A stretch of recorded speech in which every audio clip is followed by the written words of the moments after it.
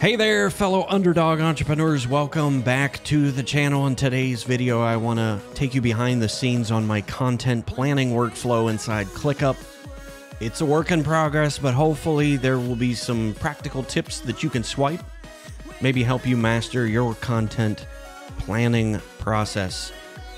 Before I get all clicky with it, I did want to say and give a shout out to Yvonne Hyman and from Ask Evie. I'm gonna put her channel link up here in the comments uh, if you're over on YouTube.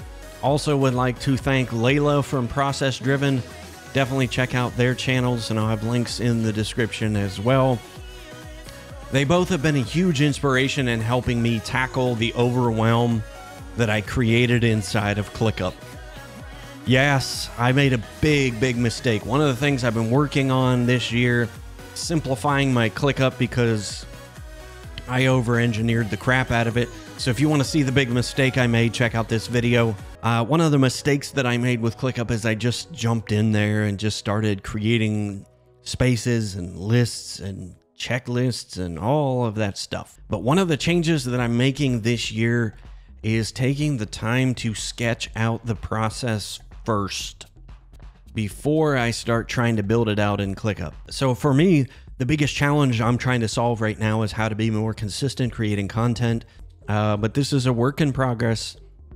So the first part of it is just uh, the idea process. I can come up with ideas all day long. I get inspiration when I'm reading books, when I'm studying YouTube.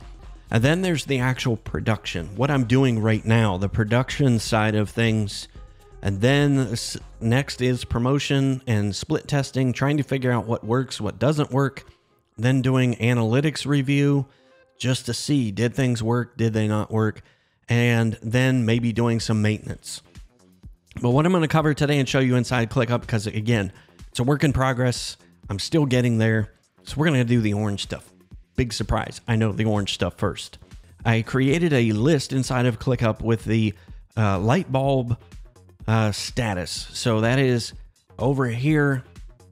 Down here, I've created an idea not started status inside of ClickUp. So that for me was the first one. Not all ideas are going to make it to the cutting room floor. We're not going to produce it. And that's what I found. So the first thing I need to do is is kind of triage that. So is this a topic or a keyword that my audience wants to learn about? Uh, if not, if it's not something that maybe I should do right now, then I have I haven't moved to this status right here, which was back burner, where it's not approved. So they would go into this status right here, which is back burner. So that is something that I I've done I did recently. So that's not all the way set up because I found that that list became like super busy. As you can see here, if I go back to my content ideas and I look at that list of all the things that that are ideas not started, uh, there's a bunch, and I've segmented that into a uh, an inbox so I can capture that. So that's the part of this triage process. Either they're going to go make it on to the next sorting round, which is research, let me go back to all content ideas. So the things that I think would be great to move into research. Maybe I need to do a little more research on it. Maybe I need to do a poll on LinkedIn, whatever it is, uh, but just kind of vet that idea. All I have to do is check this button as one of the other things I'll playing around with automation. So if I custom field changes, just kind of give you a sneak peek what that looks like.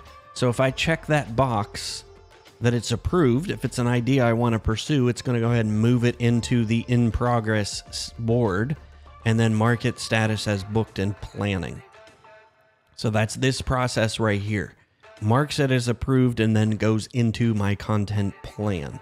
That's as far as I've gotten so far. Uh, but if you want to see this whole thing, we're going to be breaking this down in future videos where I'm going to show you what that production process looks like. Those of you who are Team Orange members, you're going to get access to the templates once we go through all of these and I work out the kinks in the production process. The production process is going to go on where this content will live in other places. Because what I'm trying to do is duplicate my efforts so that I'm not making content every single day of the week. I'm doing things like this where we're recording a live stream, but I'm, I'm doing a podcast segment out of it. I'm doing YouTube shorts. I'm doing, you know, Instagram reels. I'm doing multiple form content. So that's where everything is going to go. That is the roadmap of where I'm going with things inside of ClickUp. But I started with the process first. Mapping this out took less than an hour. And once I mapped it out, it became super easy to go in and make sense of things. For me, every time I opened ClickUp and I went to my ideas board, it kind of froze that sneaky peek of what I'm working on right now. Uh, it's just the beginning of where I want to go. Like I said, uh, in the meantime, if you want to to see how I started the process of decluttering my ClickUp, uh, check out the video up in the uh, YouTube cards. If you could help a brother out, if you can like and subscribe while you're here, if you found this video helpful. Uh, until next time, uh, happy ClickUp.